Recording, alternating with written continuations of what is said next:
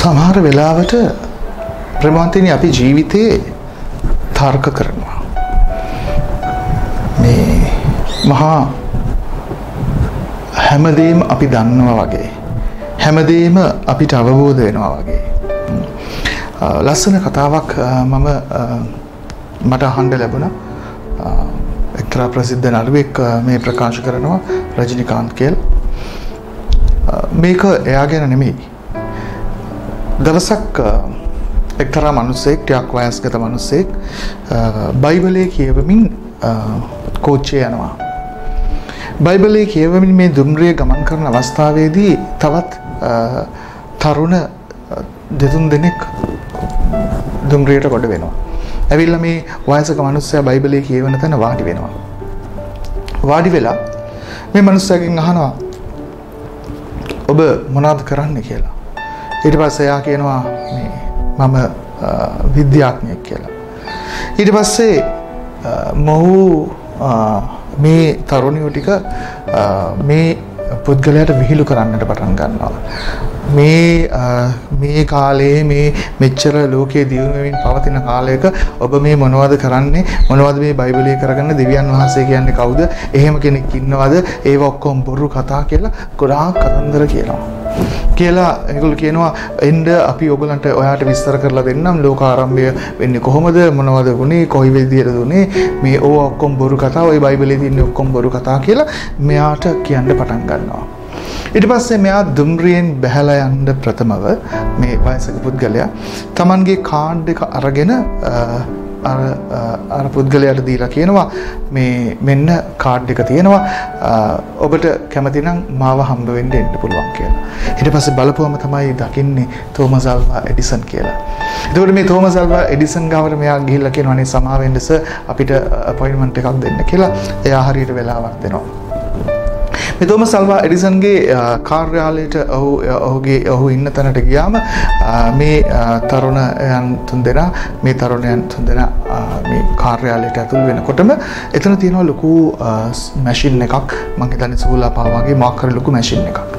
එතකොට මේ තරුණයන් තුන් දෙනා ඇවිල්ලා මේ මැෂින් එක දිහා බලලා මේගොල්ලෝ අහනවා මේ මොකක්ද ඇත්තටම කවුද මේ මැෂින් එක හැදුවේ මේකෙන් මොනවද කරන්න කියලා. ඒතකොට තෝමස් අල්වා එඩිසන් කියනවා නෑ නෑ. ඒ මැෂින් එක මං හැදුවේ නැහැ. ඒ මැෂින් එක ඉබේ හැදුනා. මම දවසක් උදේ මම එනකොට එකපාරට ඒ මැෂින් එක මගේ ඔෆිස් එකේ තිබුණා කියලා. ඊට පස්සේ කියනවා අනේ විහිළු කරන්න එපා සර් අපිට කියන්න මේක කොහොමද හැදුනේ කියලා. නෑ නෑ මං ඕගලන්ට කිව්වේ මම උදේ එනකොට එකපාරට මේ මැෂින් එක මෙහෙම තිබුණා කියලා. ඒක වෙන්න බෑනේ සර් කියලා කියනකොට එයා කියනවා ඕගොල්ලන්ට මේ මැෂින් එක නේ හදන්න කවුරු හරි කෙනෙක් ඕනයි කියලා ඕගොල්ලන්ට විශ්වාස කරන්න පුළුවන්. නමුත් මේ ලෝකය හැදුවේ තවත් කවුරු හරි කෙනෙක් කියලා ඕගොල්ලන්ට විශ්වාස කරන්න බෑ කියලා. ප්‍රමෝන්තේනි මේ වගේ අපේ ජීවිතයේ සමහර වෙලාවට මේ අර තෝමස් අල්වා එඩිසන් කියන ඒ මහා විද්‍යාඥයා තේරුම් ගත්ත සරල දේ සමහර වෙලාවට අපිට තේරුම් ගන්න බෑ. අපි අපි දන්න මේ පුංචි බුද්ධිය තියාගෙන අපි නොදන්න මහා සංකල්පයක් එක්ක අපි තර්ක විතර්ක කරන්න හදනවා. අපේ උඩඟුකම්. නේ අද ටිමෝතියස්ට ලියන ලිපියේ ශුද්ධ පාලු තමා බොහොම ලස්සනට කියනවා මේක දෙවියන්ව දැනගන්නට බැරි දෙවියන් ළඟට එන්න බැරි දෙවියන් දෙවියන්ව විශ්වාස කරන්න බැරි දෙවියන්ගේ මැදහත්කම ඉල්ලන්ඩ බැරි අය උඩංගු සිත් ඇත්තන් මෝඩයි. ප්‍රඥාවන්තයින් කියලා දැනුම් සම්භාරයක් තියෙනුම් කියලා හිතාගෙන හිටියට උන් මෝඩයි.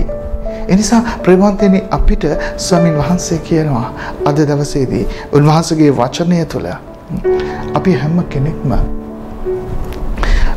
අපි නොදන්න මහා විශාල දැනුම් සම්භාරයක් අපිට එහා ස්තරයක පිහිටලා තියෙනවා. එනිසා අපිට ඒවා එකපාර දැනගන්න අපේ මිනිස් බුද්ධියට ගෝචර වෙන්නට ඒවා අපිට පේන්නේ නැහැ. අපේ පංචේන්ද්‍රයන් වලට අහු වෙන්නේ නැහැ. එනිසා අහුවෙන්නේ නැති දේවල් ගැන කතා නොකර ඇදහිල්ලෙන් ඒවා විශ්වාස කිරීම යුතුයි කියලා අපි කියනවා. අද සුවිශේෂය තුල අපි දකිනවා කොහොමද උන්වහන්සේලා සමග උන්වහන්සේත් එක්ක උන්වහන්සේ සුව කරපු උන්වහන්සේ ආදරය කරපු උන්වහන්සේ දේශනා කරපු පිරිසක් උන්වහන්සේත් එක්ක එකතු වෙලා ඉන්නේ කියලා. ස්ත්‍රී පිරිසක්, පුරුෂයන් පිරිසක්. ප්‍රබන්තනි අපි ජේසුත් එක්ක එකතු වෙමු. අපි නොදන්න දේවල් ගැන තර්ක විතර්ක කරන්න ගිහිල්ලා උඩඟු සිත් ඇත්තන් ඇත්තන් බවට පත් වෙලා අඥානයෙන් දෙවියන් වහන්සේ ඉදිරියේ අඥානයෙන් වෙන්නේ නැතුව අපිට තේරුම් ගන්නට බැරි මේ මහා විශ්ම විශ්මය දෙවියන් වහන්සේ තුළ ප්‍රාතිහාරාත්මක සිද්ධියක් බව අයිති කරගෙන අපි මේ විශ්වය තුළ ස්වාමින් වහන්සේගේ ක්‍රියාදාමය දැකලා උන්වහන්සේගේ මහිමය දැකලා උන්වහන්සේ ස්තුති ප්‍රශංසා කරලා අපි නිහතමානීව උන්වහන්සේ තුළ ක්‍රියාත්මක වෙමින් ජේසු තුළින් අපි දෙවියන් වහන්සේ වෙතට යනකොට උන්වහන්සේ අපිට සියලු ආකාර වරප්‍රසාදයන් ආශිර්වාදයන් දානය කරමින් උන්වහන්සේගේ බලය මහිමය අපිට දෙවා වදාරනවා.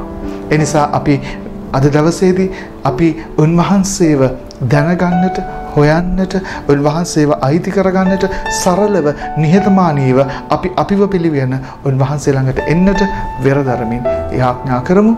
සුබ දවසක්. ඔබ සැමට ජේසු පිහිටයි.